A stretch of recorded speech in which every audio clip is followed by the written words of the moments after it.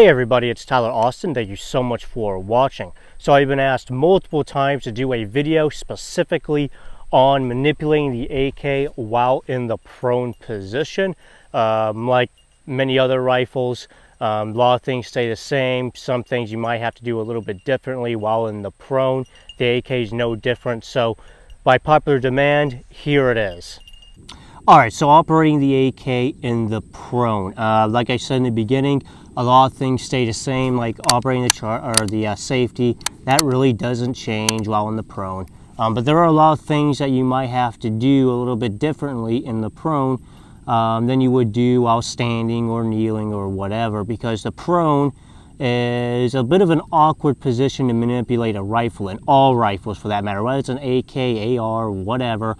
All rifles are a little bit harder to manipulate in the prone than they are when standing or kneeling or whatever because it's just a kind of a constrictive position to be in. I guess you could make the case that a belt fed might be a little bit easier to reload and whatnot in the prone, but that's not what we're talking about today.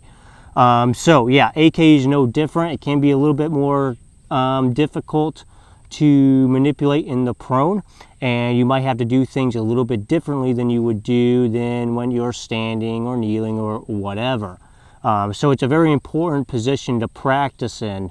Um, and a lot of people just don't practice manipulations in the prone enough because, you know, standing or kneeling is just cooler or whatever. It makes for better Instagram videos. Um, so with that being said, um, like I said, a lot of things stay the same in regards to the AK, operating the safety, basically the same and all that. Um, but in regards to operating the charging handle, and doing reload specifically, there are some better ways of doing it in the prone, at least in my opinion. So, charging handle. Now, if you've read my book, Kombative Kalashnikov, Mastering the AK Rifle, uh, my ebook, um, you would know that I make a big emphasis saying that the right-handed individual should become very familiar with operating the charging hand, not only with their left hand, their support hand, but also with their firing hand. Uh, because there are a lot of positions in which operating that charging handle with the right hand, the firing hand, uh, is generally a much more efficient method of doing so. And prone is probably the most common position in which that is the case. Um, now, when you're standing or kneeling or whatever, there are several different ways of manipulating the charging handle. You can take your support hand, go underneath the rifle, um, you can go on over top the rifle, um, all that. But these are generally a lot more awkward in the prone because in the prone, to go under the rifle, you have to basically lift the rifle up, support the weight of the rifle in this very awkward position, get your hand underneath the rifle and then charge it. Um, going over might be a little bit easier because you can at least, you know, cant the rifle down a little bit and charge it. Still a little bit more awkward, um, but it's very easy to cycle this bolt um, with just your firing hand. All you have to do is just come up, grab that charging handle and pull it back. It's very, very easy to do in the prone. Um, that's why I say that if you're right-handed, you should become very familiar with operating that charging handle with your right hand because of cases like this. Um, now I know some greasy nerds out there are going to comment down in the comment section below going, oh, you shouldn't take your, shouldn't ever take your hand off fire control, blah, blah, blah, blah, blah. Uh, this is absolutely retarded. I don't know where this came from. Um, someone probably heard it in some class somewhere uh, where the instructor was applying it to a very specific set of circumstances and they heard it and decided that it applied to everything in every circumstance and it has just become one of these mainstream sayings that uh, absolutely makes no sense. Um, there's absolutely nothing wrong with taking your hand, your firing hand, to grab the charging handle and cycle the bolt to load your unloaded rifle. There's absolutely nothing wrong with it, but I digress.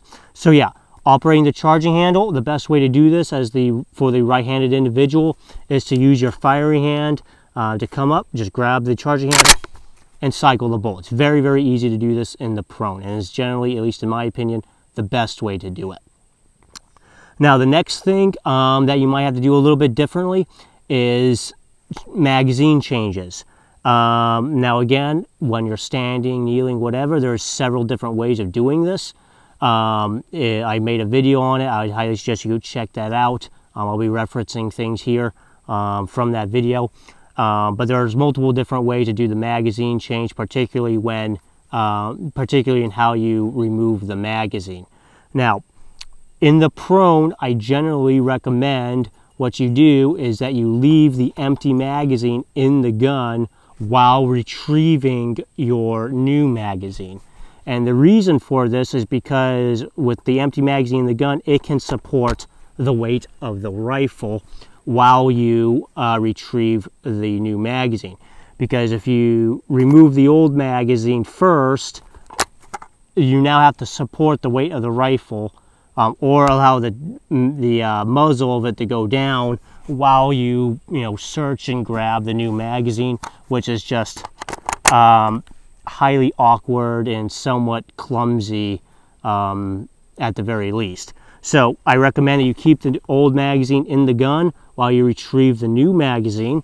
And so it can support the weight of the rifle. Bring your new magazine from wherever you're going to get it, um, pouches, whatever.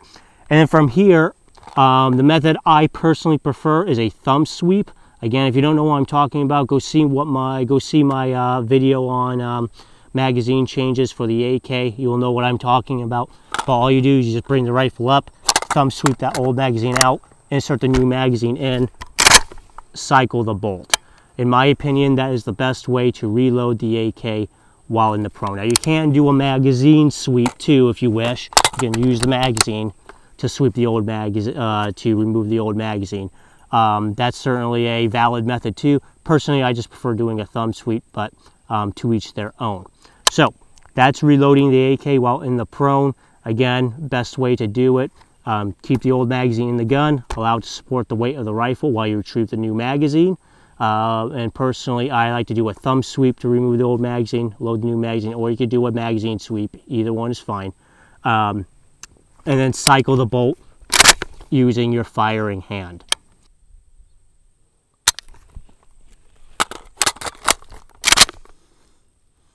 Now another big issue people like to bring up is because a AK magazine is a little bit longer than let's say an AR magazine, um, the rifle is going to be elevated a little bit higher up off the ground um, than it would be for like an AR-15 and some people take issue with this um, because you will be slightly more elevated off the ground when you're you know looking down the sights and whatnot.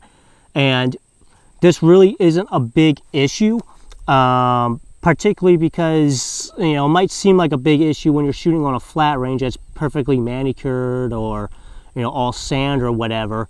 Um, but in real life contexts you know not every you're probably not going to be fighting in a perfectly manicured lawn um, or just a big old sand pit. Um, you know in, in real life environments you have stuff that grows on the ground uh, you know, high grass, tall grass, um, you know, branches, brush, all that that you might have to shoot over or at least see over in order to engage. So having a little bit higher set uh, on the rifle isn't necessarily a bad thing um, because typically you have to shoot over at least some tall grass or whatever, at least be able to see over. So you're going to have to be slightly elevated anyways.